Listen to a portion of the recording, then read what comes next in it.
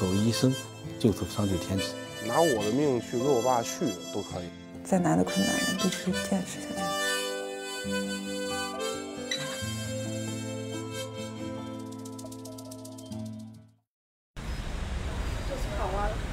我不吃了，我不吃了。吃吧，吃吧，吃吧，不吃了。这个胖乎乎、大眼睛的小男孩名叫彩旺，今年十岁，马上要接受他人生中的第二次手术，切除他胸腔里的巨大肿瘤。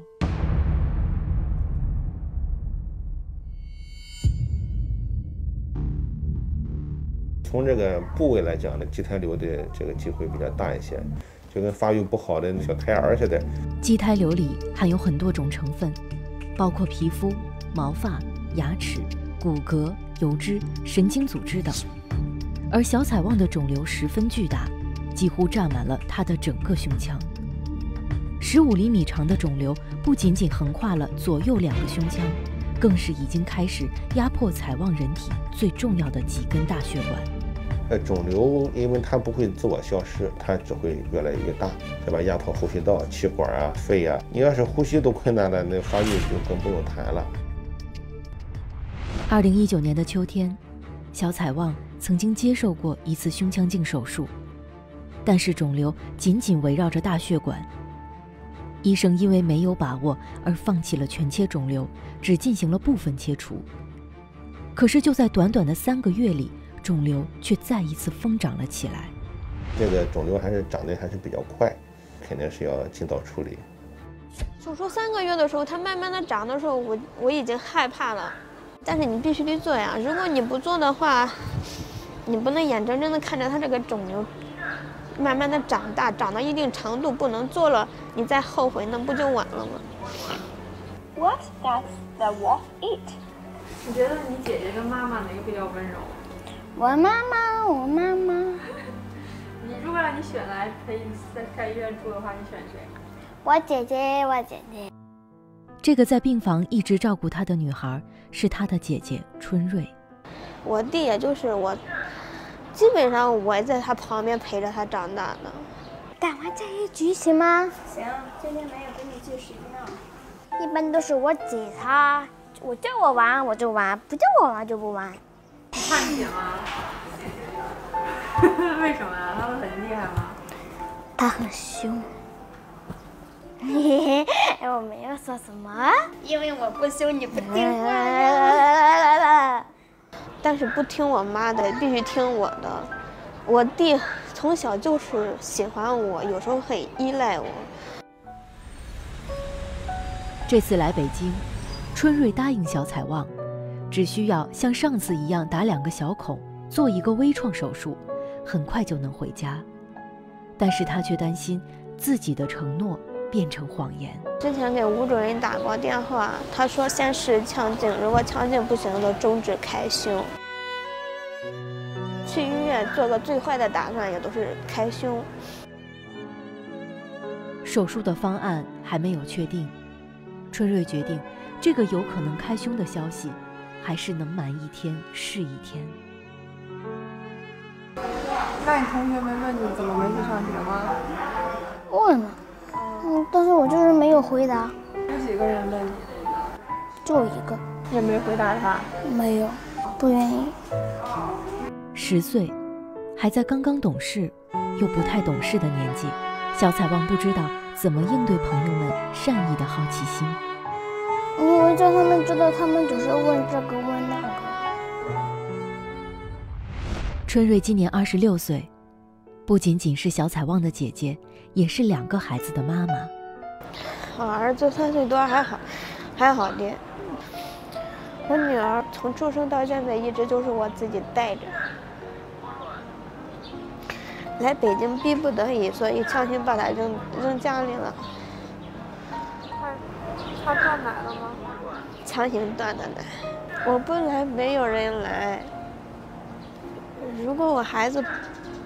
丢在家里还有人看，但是我弟如果我不带着来，没有人带着来，带他来是应该的，但是当也是这个姐姐一个姐姐的责任吧，两者必须得选一者嘛。想他们的时候就这样看看，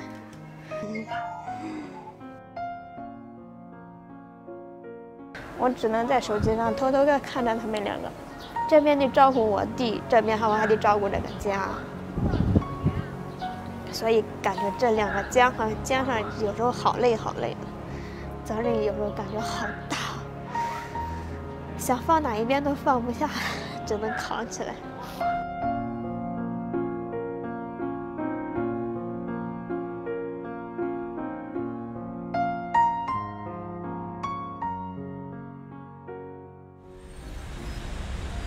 包到这边来了，对这都是对你看它中间除了这个分 droit 之外，它这边还有。小彩旺的肿瘤巨大，又和心脏大血管有着密不可分的关系。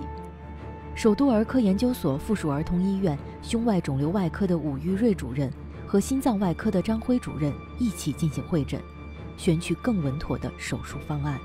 这个我从正中开胸可能更好一点。嗯嗯这个你要正中开胸，它大部分它都在这右胸腔里边，你反而不好做。就是我们都说暴露，暴露不好的话，风险就是提高。就是你想想这切口的话，除了正中皮胸，嗯正中皮胸可能双腔稍微大点儿，然后再一个就是侧开胸，侧开胸的话也能操到对过去。我想还是还是从侧方吧，还是从。考虑到小彩旺的肿瘤巨大，又是二次手术，会诊的结果是要进行肋间的开胸手术。咱们这次手术呢，尽量把这个东西都切掉。但是这东西，你看这前面离心脏很近，它的瘤子又比较大，可能咱们就直接开胸了。直接开胸。但是内心已经怎么说呢？已经快达到崩溃的边缘了。开胸对我们来说风险极大。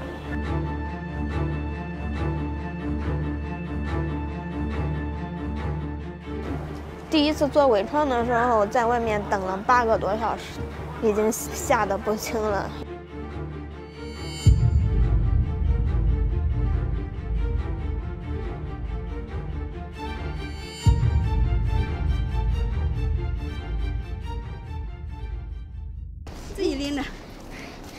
去啦，我的饭饭，开门，开门开，还没。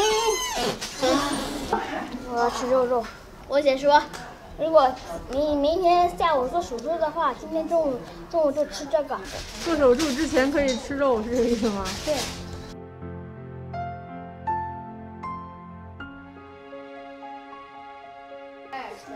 把好戏再，留到最后再吃。这就是我的性格。今天不告诉他了，我爸说明天。今天如果跟他说了吧，他害怕，晚上睡觉的话，他怕他睡不着，睡不好。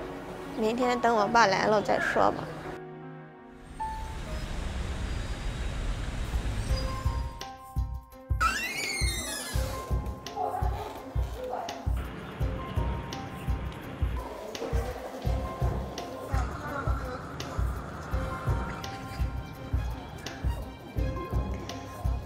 跟你商量商量，叫宋太旺知道。不但你不是说不想叫他知道啊？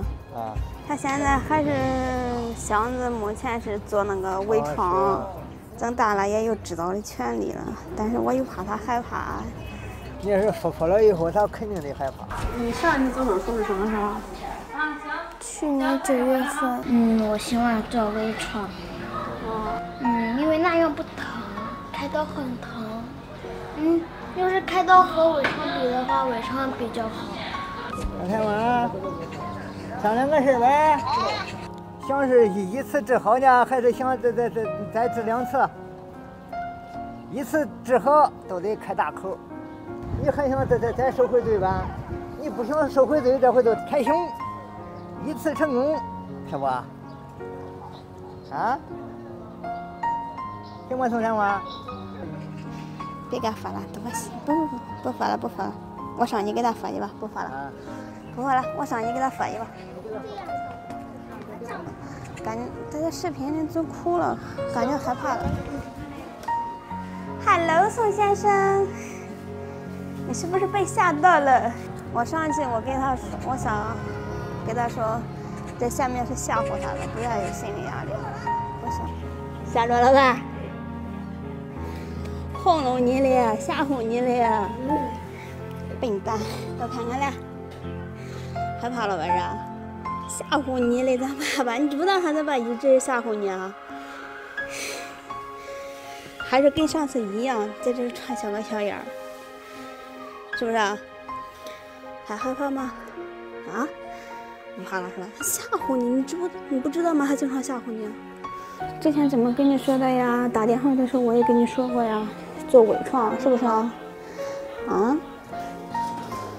好了，别哭了，羞羞你，别人羞羞你，丢丢你，哭哈，别哭了，丢，啊，来，再给你转一擦，还害怕吗？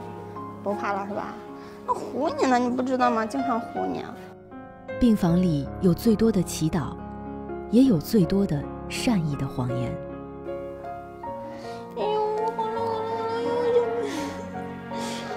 不哭不哭。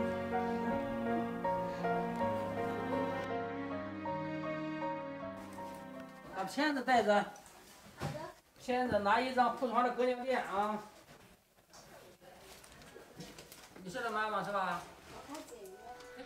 还记得小小年纪，松开我的手，迷失的你，在人群里看见你，一边哭泣，手还握着冰淇淋。有时候难过生气，你总有办法逗我开心，依然清晰回忆里那些曾经有笑有泪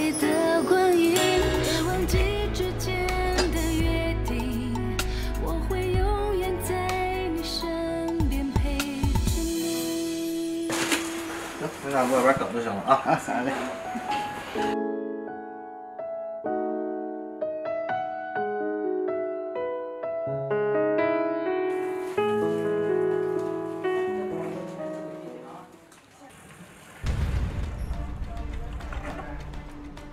你吸点氧气。哎，对，一会儿就睡着了啊。困了就睡觉啊，醒过来就完了啊。大小伙子啊！在麻醉药的作用下，彩旺很快就睡着了。手术要从彩旺的右侧胸前切口，通过肋骨的空隙切除肿瘤。为了减少创伤，武玉瑞主任设计手术，通过三四肋间的一个切口，但是可以分别通过三四肋间和四五肋间分别操作切除肿瘤。咱得切到这儿，因为它过中线，所以说咱从这地方进，这是胸骨，这孩子大，所以说他病变一直是到这里。来，倒过来。小彩旺的肿瘤不仅长得大，而且横贯左右胸腔。为了将手术部位暴露清楚，这个开口长达二十厘米。先从这儿先打开，看不停的从上面再打开。打开胸腔，是小彩旺被肿瘤严重挤压的肺，而肿瘤在这边肺的下面。这是肺，肺那边包着的这是包，这边我再直接前面拉拉钩切除肿瘤的第一步，要先分离和肺部严重粘连的囊性肿瘤，但是操作起来却困难重重。对对，薄薄的一层肺，薄薄一层肺，咱先把底下咱分分。采旺的肿瘤是囊实性结构，靠近刀口的地方是囊性结构，像一个充满水的气球，张力非常高。肿瘤已经把肺部压得只剩下薄薄一层。咱把这个瘤子和这个肺之间把它打开。因为他这个张力太高，没有操作空间。因为这个孩子还考虑良性的机会大，那我们呃可以分块切除，也可以把那个囊把这个液体先抽出一部分。来个来个大针抠一下。吴主任从小彩旺的囊性肿瘤中抽出大量的棕黑色液体，降低肿瘤的张力。手术继续。来来来，夹住它，尽量夹住它。它这个肺边界就是就是没有什么边界，好像是。对于胸外科的手术来说，最大的难度之一就是在有限的空间内进行操作。巨大动脉肿瘤在这个胸外科讲是一个大的一个问题，因为我们这胸腔有限，没有地儿，你手术视野的暴露是有一定困难。就像开肚子，那口怎么拽怎么是，这个肋间肋间还不能扩大，肋间太扩大造造造成这个背部骨折。谁得就别耽误视线，这是上腔，对吧？心洗洗着，保持视野干净。看看看看动脉，这是那个囊是吧？应该把那个囊打开。来，剪刀。对，打开我给你洗干净了啊。里边看着囊皮就安全里边还有东西啊。哎，这么大个东西，看了这是什么？钙化吗？打开囊腔，取出一块看起来像是贝壳的一片厚厚的钙化组织。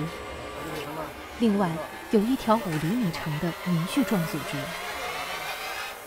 还有这块，来，再一块来，洗干净，洗干净，慢慢走，一点点的看清楚了哈。清理囊内的组织后，武玉瑞主任要将囊皮从小彩王的肺叶上剥离下来。这粘的非常厉害，那个。再往上要注意这个后内侧的腔上腔静脉，这边应该是没什么东西。先，这个比想象的还是粘连。本来以为要偏良性的话，应该是粘连，应该是比较轻。大囊打开了，这这可能这还都是瘤子，这都是瘤子，这是心脏。随着肿瘤的切除，手术部位已经越来越接近心脏和大血管。小彩旺的囊性肿瘤。不是一个完整的囊，而是由几个囊组成。由于视野受限，为了保证小彩旺的安全，吴玉瑞主任用手感受肿瘤的位置。要么就这的，这只是一个囊，它应该还有囊，不行的话，咱再咱再给它抽抽。这有囊，看到吗？这是带脓的一块，这是带脓带血的一块。来，它动没动？切下的囊皮被立刻送往病理科检验肿瘤的性质。武玉瑞主任再次用手探查肿瘤和心脏血管的位置。那边是包着那动脉，那动脉主干那是包着。小彩旺的肿瘤包裹着他的大血管。主动脉是全身最粗的动脉，上腔静脉、下腔静脉，这是全身最粗的，也就是最重要的回流的静脉。它直接通心房的，一不小心的话，它会容易引起来致命性的出血。在手术室里，心脏外科的医生准备了一台体外循环机。一旦手术中因为大血管损伤引起大出血，就要立刻接上体外循环机，将小彩旺的心脏停跳，才有抢救的可能。最主要的是害怕呀，害怕手术风险。最害怕的就是心脏停止了。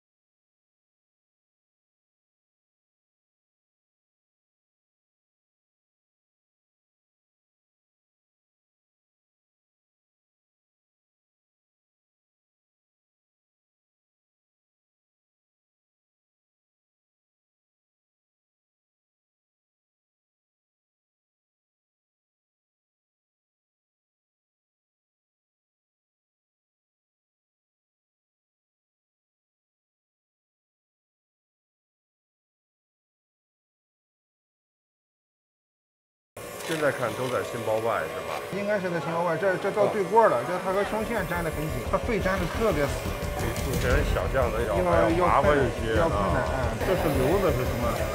这是上腔，这应该是血管，应该是。那这是可能就是中膜了，一个眼都看不见。来来来，就对到这里边来，进来，往我这边推，往刘主任那边打。随着手术的部位越来越深，手术的操作也变得越来越艰难。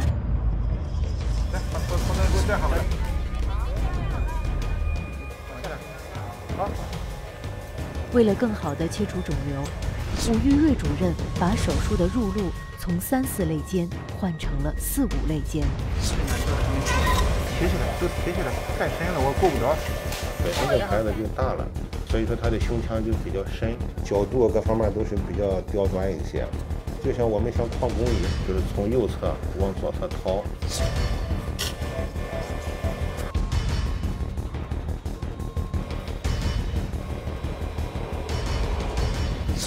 最危险的地方可能过去了。晚上六点半，这个压在小彩旺胸口的石头，终于被完整的分块切除干净。呃呃，筋拽下来了，好，好，结束了。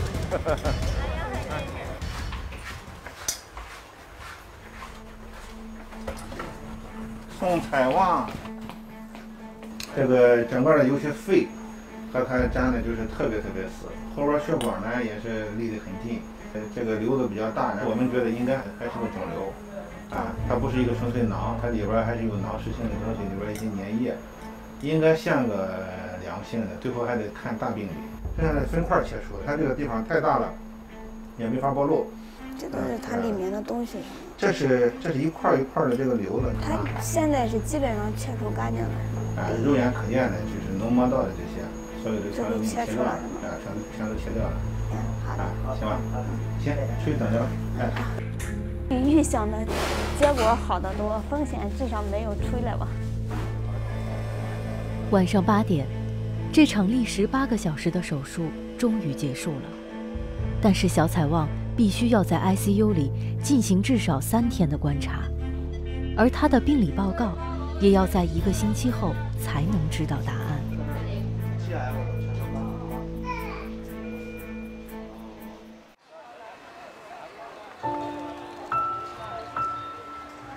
手术后的第一天，小彩旺还在镇静剂的作用下保持着睡眠的状态。现在孩子还是挺平稳的，看，包括呼吸、血压，当时现在这还带着管。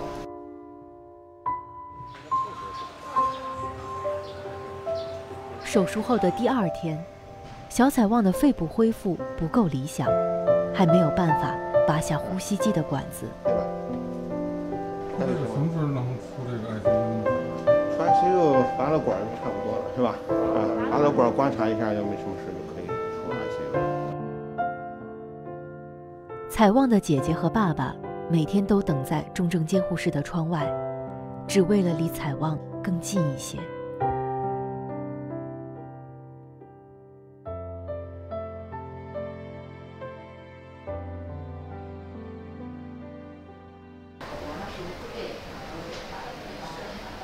手术后的第五天。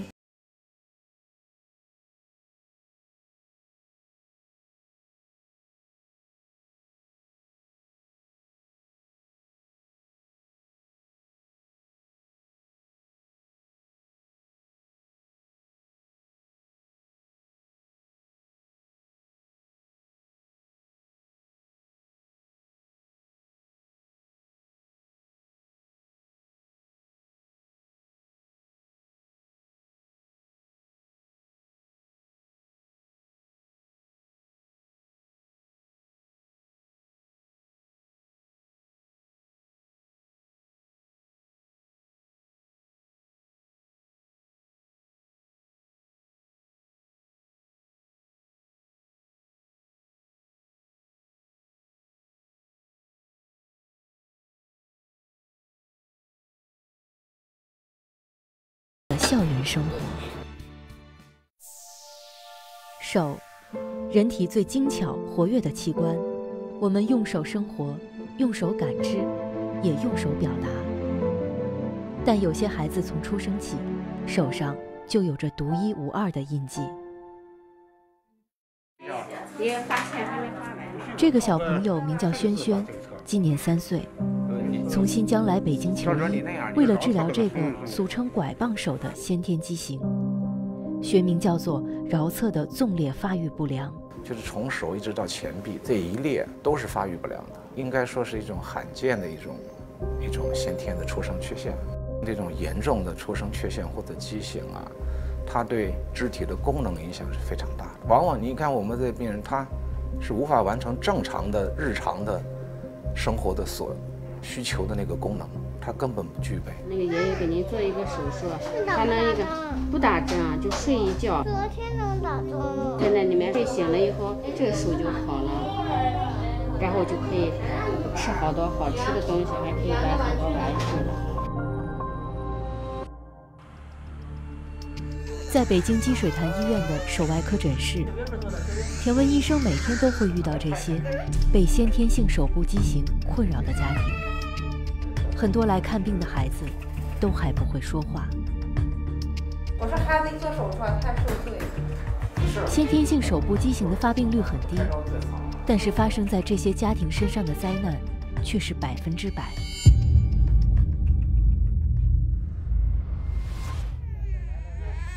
给糖，给糖，给糖！我看看手好不好？对任何一个先天的出生缺陷，或者是先天的肢体的畸形，它的外观啊，你看这个外观怪怪的，畸形那么严重，非常难看。我们经常看到这个家长带着孩子来看病，你看这个孩子，你要去看他的手，看他的胳膊，他会不让你看，他会回避。而这种病啊，对孩子的心理上的这种压力是非常巨大的。缩容已经缩了一部分，调整了一部分，现在像个手了。你看，下次呢，我们还得做，还得把这掌骨间的间隙给它并过来。他这个心理上的压力不但对孩子，实际上对他的家长，心理压力、社会压力都是很大的。在手外科领域耕耘三十年，天文医生把自己的精力逐渐聚焦到了先天性手畸形。这个字据配好了。他从一出生，谁不盼望生一个健康的宝宝呢？但是他一出生看到的是这样那样一种情况，你想想，那是一种什么感受？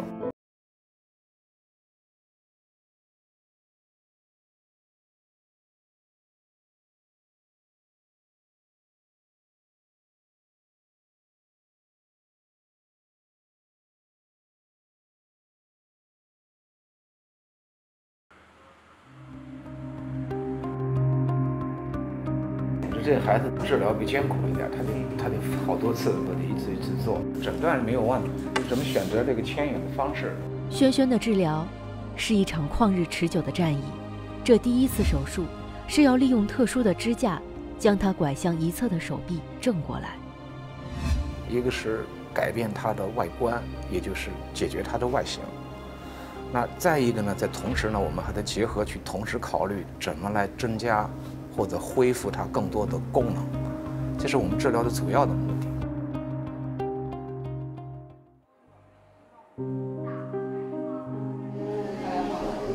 今天做哪的手术呀？左手做支架。早晨做哪个吗？五点钟到现在没。五点钟到现在就都没吃没说是吧？嗯。轩轩刚刚出生一个月时，父母就带着他来北京找过田文医生。今年轩轩三岁了。正是矫正拐棒手的最佳时期，轩轩来接受他的第一次手术。在接下来的五年里，轩轩也要一直往返北京和新疆，治好自己的手臂。上次模拟手术，这个爷爷他来再看看，给娃弄个嗯，就是咱们家那个卡子嘛，把这个卡子卡好，出来我们就喝果汁，给你买几瓶果汁喝，好吧？好了，一会儿让妈妈进去陪你，好不好？妈妈，快我找这个衣服穿上去等娃娃啊！我快快就来了啊！上午十点，轩轩被推进了手术室。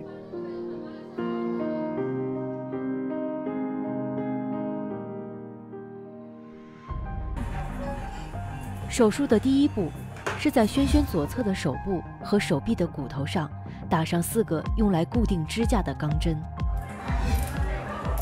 在哪块？你想，就那么一个小孩子那么细细的一个手指头上，你想，就我们操作的区域可能涉及神经、血管、肌腱、骨关节、血管还有动脉、有静脉，那么多东西都完全堆积在一个非常狭小的一个区域，对大夫的手术的技巧要求是非常非常严格的。这是手外科区别于其他外科，尤其是区别于我们大骨科的一个操作上面一个非常大的不同。成人可能骨头比较大，我打一次打不好，可能我再换个地方再打一次。小孩儿几乎没有这种机会，你再换一个地方，这骨头真折了。这个是吧？对。前两颗钢针。要打在小轩轩小拇指的骨头上，这根骨头只有两根火柴的粗细，所以一定要非常的轻柔，非常的精确，动作一定要非常的小，就是把对孩子的这个手术造成的这个创伤尽量减少到最小最小。每颗钢针打好后，田文医生都需要实时拍 X 光片，确认钢针的位置。我来调位，宋老师来打针。咱先透一眼吧，我看看这针的位置。我长一点针啊。有有更长的。看看这针的针度。可以。手术的最后一步。就是将支架和四根钢钉装起来，开始矫正伴随轩轩三年的拐棒手。再来一点，要开的血运没事儿，就担心。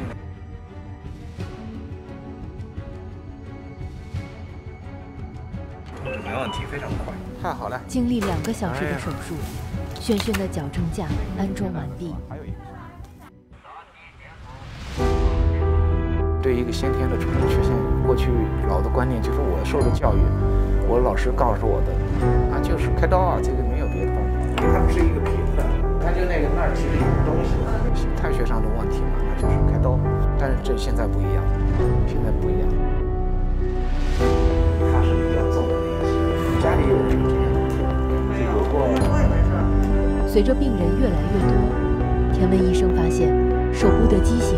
经常会联合其他部位的畸形，所以仅仅手术治不好这些孩子的。当你把这些问题告诉家长以后，家长常常就问你原因是什么。实际上我们常常是回答不了，就是我也不知道。当然，你作为一个大夫，对吧？当然心里是很别扭、很困惑啊。我们觉得我们也有责任去追追寻这个东西。这个孩子名叫小雨，今年三岁。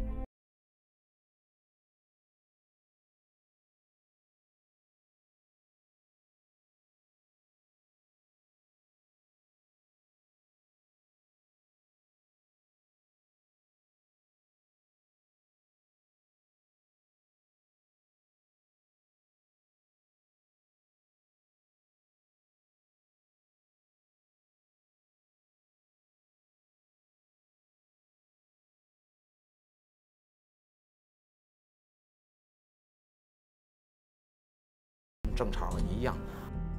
三年来，他的父母带他跑遍了国内大大小小的医院，但是从来没有任何答案。小雨的母亲说，他不敢接受采访，他甚至不敢笑，好像笑一笑都是对不起自己的孩子。小雨的病例很特殊，在田文主任看来。这很有可能是一种基因的变异造成的。基因检测的话，是要取它这个病理的组织啊。如果它确实是在过度生长这个基因位点的明确的嗯结果的话，真正的病根就找到了啊。而针对这种基因变异，世界上有可以用药物辅助治疗的手段，这相对于单一的手术治疗前进了一大步。你找到了这个问题的根本。那好，我们就可能用一些特殊的、准确的一些办法，也就是有药物的干预，这在很大的程度上去控制这种畸形的发展。这次手术，田文医生首先要解决小雨脚上。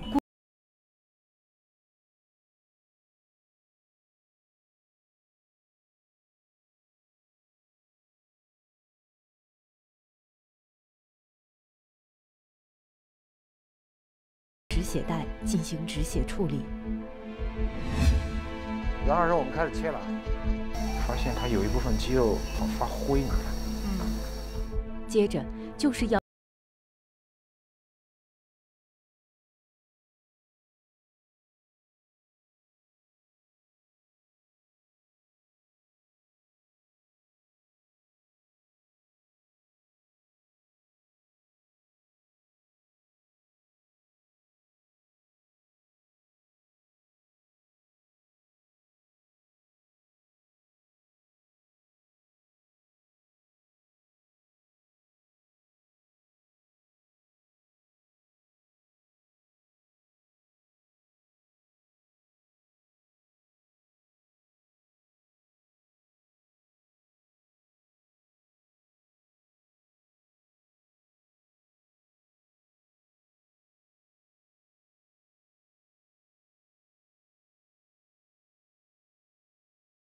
真是这一辈子我是根深蒂固的扎在了脑袋里。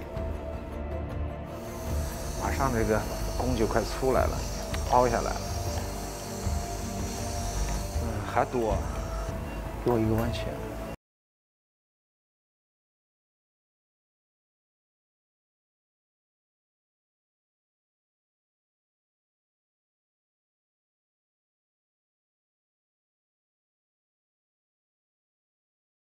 都挺好，是吧？血管神经束也保留的很好，我看啊，挺好，是吧？这就开始有个脚的样子了，就来这边换刀片儿。去掉内侧多余的肌肉后，天文医生开始去除小雨右脚外侧的多余肌肉。还比较多呢这地方，这部分呢也得去一点，要不了那么多。又一步。好，看一看，看一看，还多呢，这已经下来了，瘪下来了，弓出来了。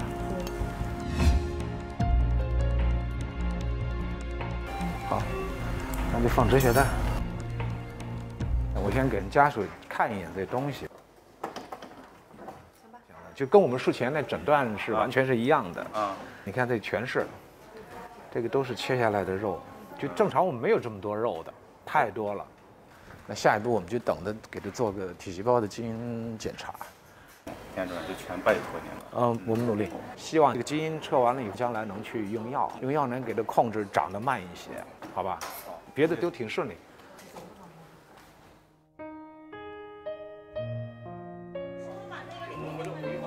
你觉得害怕吗？不害怕，真棒。阿姨弄疼吗？也不疼，真棒。三年来，小雨第一次拥有了一只和别的孩子差不多的小脚。三年来，小雨第一次拥有了一只和别的孩子差不多的小脚。我们也第一次在妈妈的脸上看到了笑容。那这几年我们也是跟比如医科院、协和医院我们去合作，带着我们这个困惑和想法，发现好多我们过去对这个出生缺陷或者畸形的诊断呢，只是一个形态学的诊断，就是我是一个表象的诊断，真正的病因上的问题，基因结果给了我们以后，那这个病的准确的诊断一下就出来了，那这个就意义就很大了。希望不久的将来呢。这些研究能给我们这些孩子呢，真是提供更大的便利，更好的治疗。医学的路上，有耕耘者，更有追寻者。追寻的力量，让阳光照入生命裂痕。